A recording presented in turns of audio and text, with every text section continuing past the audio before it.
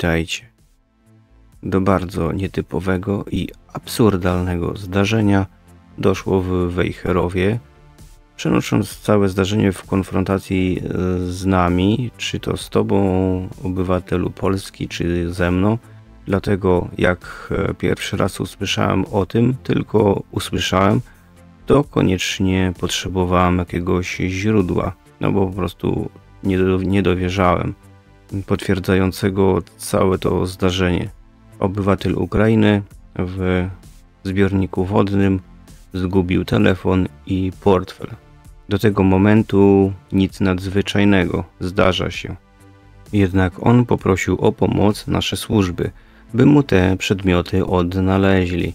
I służby o dziwo wzięły sobie dobro obywatela Ukrainy do serca i zaangażowały w poszukiwania wszelkie dostępne środki, jakie posiadały, w tym i drona podwodnego, czyli na wszystko na całego. Dlaczego tak wielu nie dowierzało w taką akcję?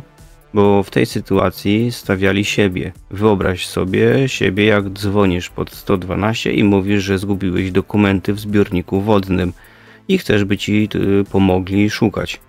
No, w odpowiedzi dostaniesz, że nie jest to sytuacja zagrażająca życiu i cię po prostu spławią, jako Polaka. To, że ten Ukrainiec zainicjował całą taką akcję, no to trochę nie boli. Po prostu chłop wykorzystał sytuację. Nawet e, w pewien sposób trochę go żal, bo ostatecznie dokumentów nie udało się odnaleźć, a bez nich raczej nic nie może zdziałać. By, a aby wyrobić sobie nowe dokumenty, musi jechać na Ukrainę, a tam już hycle z wojenkomatu już na niego będą czekać, by zaprosić go na front. Dlatego tu chodzi o zachowanie naszych służb i traktowania wybiórczo pewnych grup społecznych. No chodzi o obywateli. Po tej akcji teraz każdy obywatel polski, jak zgubi choćby klucze od samochodu, powinien dzwonić i prosić o pomoc. Po prostu to wszystko jedynie zwiększa i tak już napięte stosunki pomiędzy obywatelami Polski i Ukrainy. Teraz co powiem, to tylko wyłącznie moje zdanie. Moje takie przemyślenie.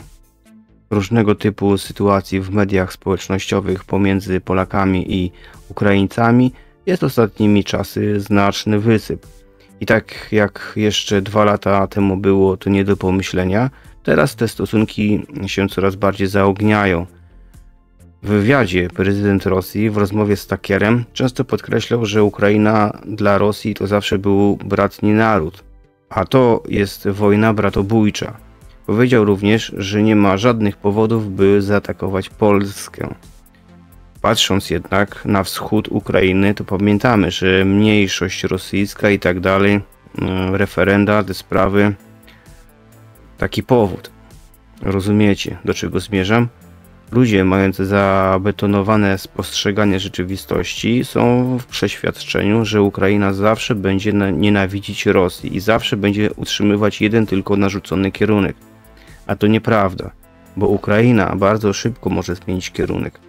I gdy w Polsce naprawdę zagotuje się pomiędzy obywatelami Ukrainy a Polakami, to już Rosja będzie miała powód. A Zachód, czy tej korporacja Wall Street, wysadzająca Europę ekonomicznie, będą mieli kolejne narzędzie, czytaj Polskę w wojnie z Rosją i jednocześnie fizyczne odcięcie od bezpośrednich surowców i produktów ze wschodu i dalekiego wschodu. Jeżeli materiał uważasz za przydatny w torze informacyjnym, zostaw kciuk w górę, zasubskrybuj kanał. Dzięki i do następnego.